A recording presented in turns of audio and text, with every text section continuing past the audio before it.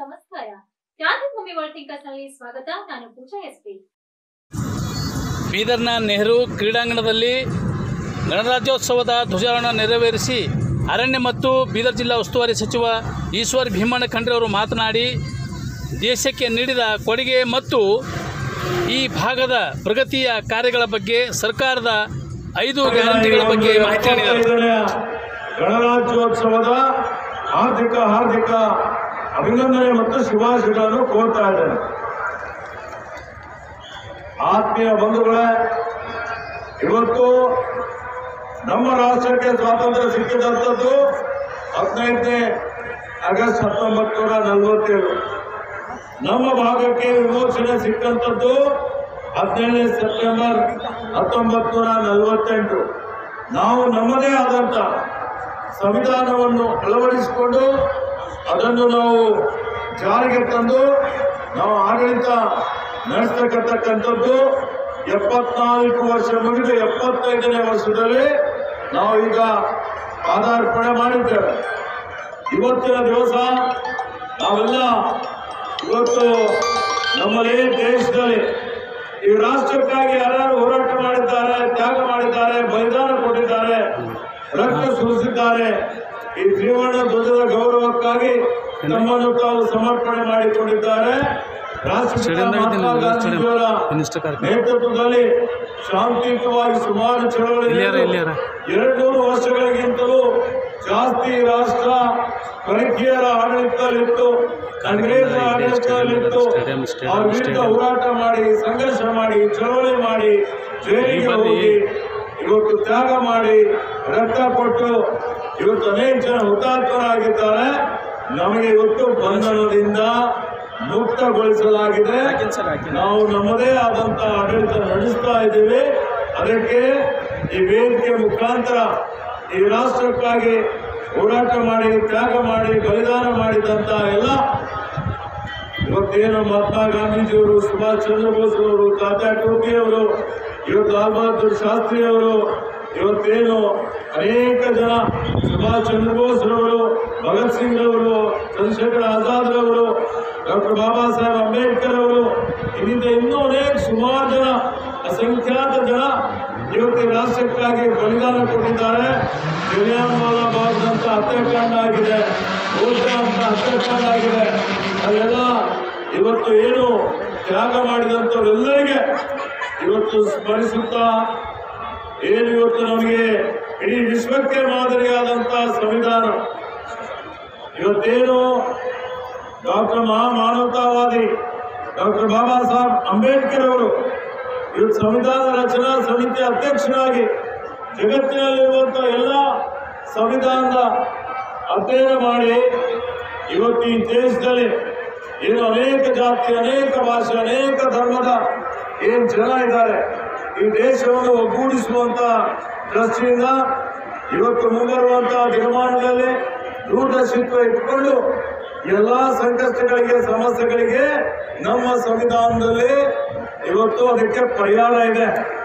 ಆ ರೀತಿಯಲ್ಲಿ ಎರಡು ವರ್ಷ ಇರುವಂತವರಿಗೆ ಸಾಮಾಜಿಕ ಒಂದು ರೀತಿಯಲ್ಲಿ ನ್ಯಾಯ ಅವರಿಗೆ ಸಿಗಬೇಕು, ಆರ್ಥಿಕ ನ್ಯಾಯ ಸಿಗಬೇಕು, ರಾಜಕೀಯ ನ್ಯಾಯ ಸಿಗಬೇಕು ಜೊತೆಯಲ್ಲಿ ನೀವು ಯಾರು ಇಲ್ಲಿನ ನಿವಾಸಿಗಳಿಗೆ, ಯಾರು ಎಲ್ಲೇ ಬೇಕಾದರೂ ವಾಸ ಮಾಡಬಹುದು ಯಾವುದೇ ವ್ಯಾಪಾರ ಮಾಡಬಹುದು ಅಭಿವ್ಯಕ್ತಿ ಸ್ವಾತಂತ್ರ್ಯ ಇದೆ.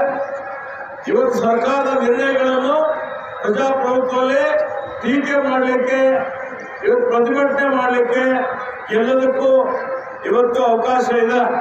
ಯಾವುದೇ ಮಾಧ್ಯಮಗಳು, ಪತ್ರಿಕೆಗಳು ಎಲ್ಲಿ ಬೇಕು ಅಲ್ಲಿ ಪ್ರಾರಂಭ ಮಾಡಬಹುದು ಹೀಗಾಗಿ ಇಂಥ ಏನು ತಮ್ಮ ತಮ್ಮ ವಿಚಾರಗಳನ್ನು ವ್ಯಕ್ತಪಡಿಸಬಹುದು ಅದರ ಜೊತೆ ತಮ್ಮ ತಮ್ಮ ಧರ್ಮದ ಆಚರಣೆ ಮಾಡಬಹುದು. ಇವತ್ತು ಯಾವುದೇ ರೀತಿಯಲ್ಲಿ ಸ್ಥಾನಮಾನಗಳಲ್ಲಿ ಯಾವುದೇ ಏರುಪೇರು ಅಲ್ಲ, ಯಾರು ಮೇಲಲ್ಲ, ಯಾರು ಕೀಳಲ್ಲ ಅನ್ನುವಂಥದ್ದು ತಮ್ಮ ಪ್ರತಿಯೊಬ್ಬರು ಗೌರವಯುತವಾದಂತ ಜೀವನವನ್ನು ಸಾಗಿಸಲಿಕ್ಕೆ ಸಂಪೂರ್ಣವಾದಂತ ಒಂದು ಅಧಿಕಾರ ಇದೆ. ಅಧಿಕಾರದ ಜೊತೆ ಇವತ್ತೇನು ಜವಾಬ್ದಾರಿಗಳಿದ್ದಾವೆ. ಅಧಿಕಾರ ಇದೆ ಅಂತ ಹೇಳಿ ತಿಳ್ಕೊಂಡು ಆ ಬೇರೆಯವರಿಗೆ ಕಿರುಕುಳ ಕೊಡುವಂಥದ್ದು ಮತ್ತೊಂದು ಮಾಡಲಿಕ್ಕೆ ಅವಕಾಶ ಇಲ್ಲ. ಹೀಗಾಗಿ ಈ ದೇಶದ ಏಕತೆ ಅಖಂಡತೆ. ಯಾವಾಗ ಬರಬಾರ್ದು, ಮಳೆ ಬರ್ತದೆ, ಹವಾಮಾನ ವೈಪರೀತ್ಯ ಆಗ್ತದೆ ಓಝೋನ್ ಧಕ್ಕೆ ಆಗುವಂತ ಸಾಧ್ಯತೆಗಳಿದ್ದಾವೆ. ಆಹಾರದಲ್ಲಿ ಮಾಲಿನ್ಯ ಇದೆ, ಗಾಳಿಯಲ್ಲಿ ಮಾಲಿನ್ಯ ಇದೆ, ನೀರಿನಲ್ಲಿ ಮಾಲಿನ್ಯ ಇದೆ. ಇವೆಲ್ಲ ಮಾಲಿನ್ಯ ನಿವಾರಣೆ ಮಾಡುವಂಥದ್ದು ರೋಗ ಬೇಕಲ್ಲ. ರೋಗನೇ ಇರಬಾರ್ದು. ಆರೋಗ್ಯ ಚೆನ್ನಾಗಿರಬೇಕು. ರೋಗರಹಿತ ಸಮಾಜ ನಿರ್ಮಾಣ ಆಗಬೇಕು. ಅಂದರೆ ನಾವೆಲ್ಲ ಆರೋಗ್ಯವೇ ಭಾಗ್ಯ ಅಂತ ಹೇಳ್ತೇವೆ. ನಮ್ಮ ಆರೋಗ್ಯಕ್ಕೆ ಹೆಚ್ಚಿನ ಒಂದು ಒತ್ತು ಕೊಡಬೇಕು. ಅದು ಕೊಡಬೇಕು ಅಂತ ಹೇಳಿದ್ರೆ ಅರಣ್ಯ ಸಂಪತ್ತು ಸಂರಕ್ಷಣೆ ಮಾಡಬೇಕು. ಇವತ್ತು ಮರ ಬೆಳೆಸಬೇಕು, ಗಿಡ ಬೆಳೆಸಬೇಕು. ಅರಣ್ಯ ಒತ್ತುವರಿ ಮಾಡಬಾರ್ದು. ಇದು ಸ್ವಚ್ಛತೆ ಶುದ್ಧ ಸುಂದರ ಬೀಜ ನಿರ್ಮಾಣ ಮಾಡಬೇಕು. ಪ್ಲಾಸ್ಟಿಕ್ ತ್ಯಾಜ್ಯ ಇರಬಾರ್ದು. ಇವತ್ತು ಈ ತ್ಯಾಜ್ಯದ ಬಗ್ಗೆ ಎಲ್ಲರಿಗೆ ಜಾಗೃತಿ ಮೂಡಿಸಬೇಕು. ಇವತ್ತು ಅನೇಕ ರೀತಿಯ ತ್ಯಾಜ್ಯಗಳಿದ್ದಾವೆ ಈಗಾಗಲೇ ಗ್ರಾಮ ಪಂಚಾಯತಿ ಹಿಡ್ಕೊಂಡು ನಗರಸಭೆವರೆಗೆ ಸರ್ಕಾರ ಅನೇಕ ಕಾರ್ಯಕ್ರಮ ಹಾಕಿಕೊಂಡಿದೆ. ಇವತ್ತು ಮಲತ್ಯಾಜ್ಯ ಇರ್ಬೋದು, ಘನತ್ಯಾಜ್ಯ ಇರ್ಬೋದು ದ್ರವ ತ್ಯಾಜ್ಯ ಇರ್ಬೋದು ಇದನ್ನು ಸಂಸ್ಕರಣೆ ಮಾಡುವಂಥದ್ದು, ಶುದ್ಧ ನೀರು ಕೊಡುವಂಥದ್ದು, ಶುದ್ಧ ಗಾಳಿನೂ ಬೇಕಲ್ಲ. ಆ ಕಾರಣಕ್ಕಾಗಿ ಕರೋನಾದಲ್ಲಿ ನೋಡಿದ್ದೀರಿ. ಆಕ್ಸಿಜನ್ ಇಲ್ಲದೆ ಲಕ್ಷಾಂತರ, ಕೋಟ್ಯಾಂತರ ಜನ ಸತ್ತು ಹೋಗಿದ್ದು ನಮ್ಮ ಗಮನದಲ್ಲಿದೆ. ಆಕ್ಸಿಜನ್ ಯಾರು ಕೊಡ್ತಾರೆ? ಆಕ್ಸಿಜನ್ ಕೊಡುವಂಥದ್ದು ಮರಗಳು, ಗಿಡಗಳು, ಇಂಗಾಲನ್ನು ಅವು ತಗೊಂಡು ಆಕ್ಸಿಜನ್ ಉತ್ಪಾದನೆ ಮಾಡುವಂತಹ ಸಾಮರ್ಥ್ಯ ಮರಗಿಡಗಳಿಗೆ ಇದೆ. ಹೀಗಾಗಿ ಅರಣ್ಯ ಇಲಾಖೆ ವತಿಯಿಂದ ಹೋದ ವರ್ಷ ರಾಜ್ಯದಲ್ಲಿ ಐದು ಕೋಟಿ ಆರು ಲಕ್ಷ ಸಸಿ ನೆಟ್ಟಿದ್ದೇವೆ. ಬೀದರ್ನಲ್ಲಿ ಹದಿನೈದು ಲಕ್ಷ ಸಸಿ ನೆಟ್ಟಿದ್ದೇವೆ. ಈ ವರ್ಷ ಬೀದರ್ನಲ್ಲಿ ಅರಣ್ಯ ಇಲಾಖೆ ವತಿಯಿಂದ ಇಪ್ಪತ್ನಾಲ್ಕು, ಇಪ್ಪತ್ತೈದಕ್ಕೆ ಸುಮಾರು ಇಪ್ಪತ್ತು ಲಕ್ಷ ಸಸಿ ನೆಡಬೇಕು ಅಂತ ಮಾಡಿದ್ದೇವೆ. ರಾಜ್ಯದಲ್ಲಿ ಏಳು ಕೋಟಿ ಸಸಿ ನೆಡಬೇಕು ಅನ್ನುವಂಥ ಗುರಿಯನ್ನು ನಾನು ಇಟ್ಕೊಂಡಿದ್ದೇನೆ ಅನ್ನುವಂಥ ಮಾತನ್ನು ಹೇಳಲಿಕ್ಕೆ ಬಯಸ್ತೇನೆ ಅದಕ್ಕೆ ನಿಮ್ಮೆಲ್ಲರ ಸಹಕಾರ ಬೇಕು. ಮಕ್ಕಳ ಸಹಕಾರನೂ ಬೇಕು. ಇವತ್ತು, ಇವಾಗ ಊರಿಗೊಂದು ಶಾಲೆ ಮನೆಗೊಂದು ವನ ಅಂತ ಹೇಳ್ತಾರೆ. ಇಲ್ಲ ಅಂತ. ಆ ರೀತಿಯಲ್ಲಿ ಮರಗಿಡಗಳನ್ನು ಬೆಳೆಸುವಂತ ಅಭಿರುಚಿ ನಮ್ಮ ಮುಂದಿನ ಪೀಳಿಗೆ ಬೆಳೆಸ್ಕೊಳ್ಬೇಕು. ಪರಿಸರ ರಕ್ಷಣೆ ಮಾಡಬೇಕು. ಅರಣ್ಯ ಇಲಾಖೆ ವತಿಯಿಂದ ಈ ವರ್ಷ ಇಪ್ಪತ್ನಾಲ್ಕು, ಇಪ್ಪತ್ತೈದರಲ್ಲಿ ನಾನು ವನ್ಯಮೃಗಗಳ ಸಂರಕ್ಷಣೆ ಇಟ್ಕೊಂಡು ನಮ್ಮಲ್ಲಿ ಏನು ಇವತ್ತು ಕಷ್ಟ ಮೃಗಗಳಿದ್ದಾವೆ. ಬೀದರ್ ಜಿಲ್ಲೆಯಲ್ಲಿ ಒಳ್ಳೆ ಪರಿಸರ ಇದೆ, ಅರಣ್ಯ ಇದೆ. ಕೃಷ್ಣ ಮೃಗ ಸಂರಕ್ಷಣಾ ಪ್ರದೇಶ ಅಂತೇಳಿ ಎರಡು ಕೋಟಿ ಅನುದಾನ ಬಿಡುಗಡೆ ಮಾಡಿದ್ದೇನೆ. ಈ ವರ್ಷ ಇವತ್ತೇನು ನಮ್ಮಲ್ಲಿರುವಂತ ದೇವ ವನ ಏನಿದೆ, ಆ ವನ ಅಭಿವೃದ್ಧಿ ಮಾಡಲಿಕ್ಕೆ, ಮತ್ತೆ ಸಸಿ ನೆಡಲಿಕ್ಕೆ, ಮತ್ತೆ ಒಂದು ಎಕೋ ಟೂರಿಸಂ ಟ್ರೆಕ್ಕಿಂಗ್ ಮಾಡಬೇಕು ಅನ್ನುವಂಥ ಒಂದು ಯೋಜನೆ ರೂಪಿಸಿದ್ದೇನೆ. ಇಲ್ಲಿ ಬೀದರ್ ಜಿಲ್ಲೆಯಲ್ಲಿ ಇವತ್ತೇನು ಪ್ರವಾಸೋದ್ಯಮಕ್ಕೆ ಇವತ್ತು ಹೆಚ್ಚಿನ ಒಂದು ಒತ್ತು ಕೊಡಬೇಕು ಅಂತ ಹೇಳಿ ಈ ಆಯವ್ಯಯದಲ್ಲಿ ಮಾನ್ಯ ಮುಖ್ಯಮಂತ್ರಿಗಳಿಗೆ ಮನವಿ ಮಾಡಿಕೊಂಡು ಬೀದರ್ ಜಿಲ್ಲೆಗೆ ಐವತ್ತು ಕೋಟಿ ರೂಪಾಯಿ ಹೆಚ್ಚಿನ ಒಂದು ಅನುದಾನ ನಾನು ಮಂಜೂರಾತಿ ಮಾಡ್ತಾ ಇದ್ದೀನಿ ಅಂತ ಹೇಳಿ ತಮ್ಮೆಲ್ಲರ ಗಮನಕ್ಕೆ ನಾನು ತರಲಿಕ್ಕೆ ಇಷ್ಟಪಡ್ತಾ ಇದ್ದೀನಿ. ಈ ಆತ್ಮೀಯ ಬಂಧುಗಳೇ, ಇವತ್ತು ನಮ್ಮ ಜಿಲ್ಲೆ ಅಡಿಯಲ್ಲಿ ಏನು ವಿವಿಧ ಇಲಾಖೆ, ಸಮಾಜ ಕಲ್ಯಾಣ ಇಲಾಖೆ ವತಿಯಿಂದ ಈಗಾಗಲೇ ಜಿಲ್ಲೆಯಲ್ಲಿ ನಲವತ್ತೆರಡು ಸರ್ಕಾರಿ ಮೆಟ್ರಿಕ್ ಪೂರ್ವ ಬಾಲಕರು ಮತ್ತು ಬಾಲಕಿಯರ ವಿದ್ಯಾರ್ಥಿ ನಿಲಯಗಳಿದ್ದಾವೆ.